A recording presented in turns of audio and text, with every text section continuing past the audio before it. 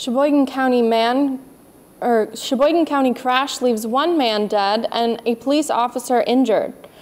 First hate crime charges since 2013 filed in Sheboygan County. 84 Kohler jobs cut, mostly in Sheboygan County. These and other local stories are coming up on this edition of Community News Review. This is Community News Review, service WSCS TV, news content provided by WHBL.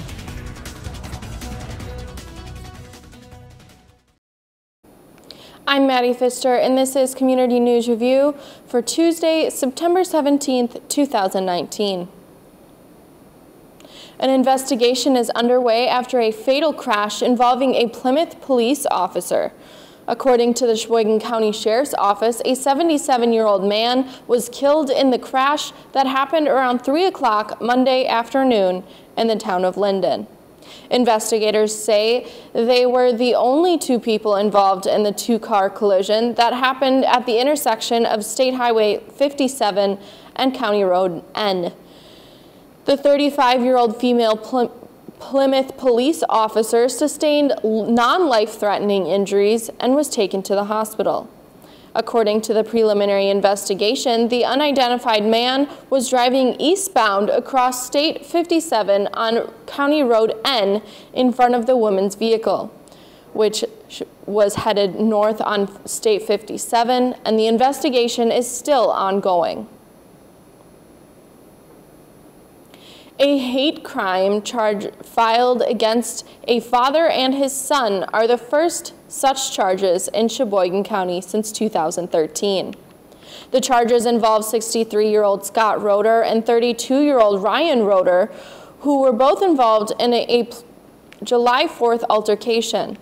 Police say the incident involved numerous suspects, repeatedly using racial slurs and ordering young African American women to go back to Milwaukee. The incident also involved a physical altercation that later took place between several suspects and the father of one of the young black females. Sheboygan County District Attorney Joel Urmanski said that the physical actions and statements, including racial slurs and a threat to hang someone from a tree, went beyond disorderly conduct. Officials say a hate crime isn't a charge on its own, it amplifies an existing charge. Both Roeders face several charges for the July 4th fight that occurred on North 2nd Street in Sheboygan. A pretrial conference is scheduled for Ryan Roeder today, and a status conference for Scott Roeder is scheduled for November 1st. A dog bite has Sheboygan police asking for the public's help. They say a 15-year-old girl was bitten by a dog on Friday just before 7.30 in the morning. The girl was apparently bitten in the leg by a dog described as a miniature collie in the 2600 block of North 13th Street. According to the police, the dog was being walked by a woman who had the dog on a leash and after the bite started walking eastbound on North Avenue. The dog was described as a fluffy reddish-brown dog with white markings. The woman walking the dog was described as 30 to 40 years of age, thin build, with short hair. Anyone with information about this is urged to call the Sheboygan Police Department. Deer hunting season is here with archery and crossbow season starting this past Saturday. The big hunt, the gun deer season, doesn't begin until late November. But regardless of how hunters bag their trophy, the DNR is encouraging testing for deer for the chronic wasting disease. And the only con consume venison from deer in which CWD is not detected. Not all Wisconsin counties are affected, and Sheboygan County is not a surveillance area this year, but testing will be given on request. CWD is a fatal disease of deer that hasn't yet been shown to affect humans that consume affected venison. But state public health veteran Rachel, Rachel Klos says that the safest approach is to only consume venison that tests free of CWD. A list of testing options is posted at on the Wisconsin's DNR website.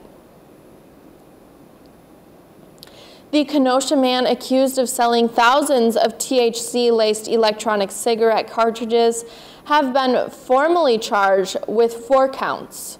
Tyler Huffhines, 20, faces three counts of possession with the intent to distribute and maintaining a drug trafficking place. According to a criminal complaint, he would fly to California to buy THC oil in bulk, then come back to Wisconsin and fill thousands of cartridges with substances. Huffhines has is being held on $50,000 cash bond. He and his brother Jacob were at the head of the ring and were arrested on September 5th. The pair was found to have nearly $60,000 in cash, along with guns and other drugs such as cocaine and marijuana in their home. At a second lo location in the town of Bristol, investigators found 31,200 vape cartridges already filled and ready to be shipped out. Each contained one gram of THC, and they also found approximately 98,000 cartridges that were unfilled. Investigators also located 57 mason jars filled with THC oil. Each jar was valued at roughly $6,000. In all, authorities estimated they seized THC products with a street value of $1.5 million. Officials described the operation as empire of illegal drugs.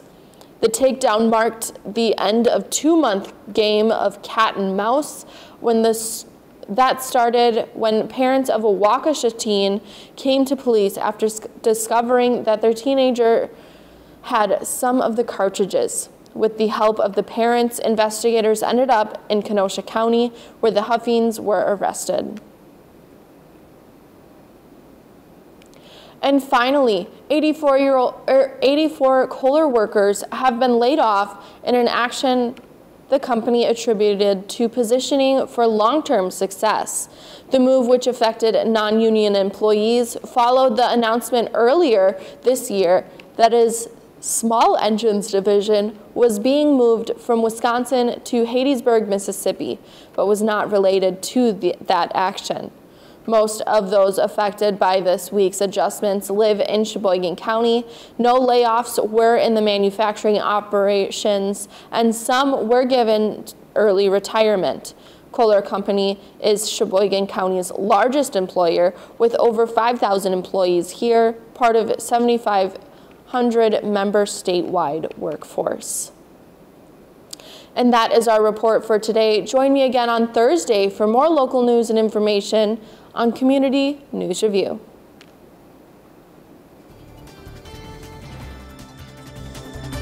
News content for this program provided by WHBL in cooperation with WSCS TV.